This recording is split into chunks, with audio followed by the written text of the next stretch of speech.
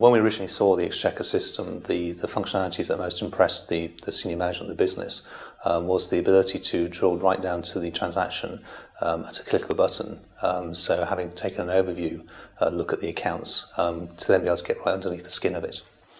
Another great thing about it is the drill down, like the ability to actually analyse things to fine detail. And just the way it's actually structured. We have a situation, we have divisions, departments, then partners within departments and so on, and various offices. And it gives us the ability to analyse all the way down through that.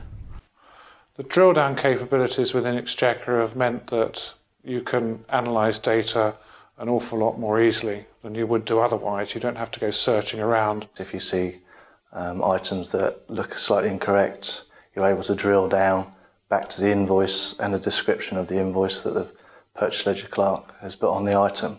So you know straight away where the discrepancy is. Whereas before, I've always had to find the invoice number, go down to the files, find the invoice if it's there,